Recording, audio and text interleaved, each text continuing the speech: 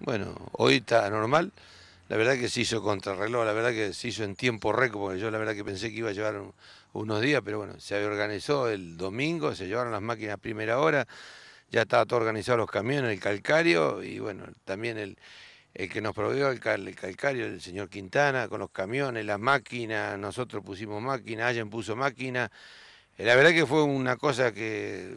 que se trabajó mucho y bueno, empezando por el, de la cantera que dije anteriormente, Quintana, el uno que colaboró nosotros, Juan Parada, todos pusimos los consorcios y bueno, se hizo rápido. La verdad que yo me imaginé que no me imaginé que lo íbamos a terminar tan rápido, pero se terminó y a última hora ya se había, ya se había largado el agua de vuelta y bueno, ya ahora está corriendo de vuelta, lo que va a tardar por lo menos 48 horas, por lo menos dos días para que se normalice todo el sistema riego, ahora se tiene que llenar todo de vuelta, es como si empezara a largar el agua de vuelta. Pero bueno, lo, lo, lástima de este que hay productores que tenían que regar y han perdido el turno, pero bueno, fue una cosa que son ajena a lo que es el riego, son accidentes que ocurren y bueno,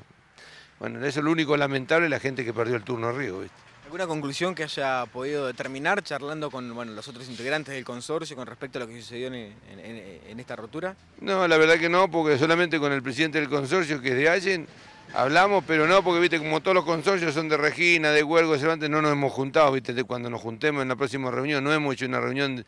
lo hacemos todo por teléfono y como estoy yo acá, medio, yo soy más cerca, más o menos se manejó de acá, por lo cerca, pero demás te imaginar que Regina está a 100 kilómetros acá, o Huergo está a 80. Entonces se hace medio, medio en conjunto, de buena, en amistad, ¿viste? ¿Habrá alguna reunión? ¿Planificarán algo teniendo en cuenta que usted mencionó que, bueno, esto puede volver a pasar?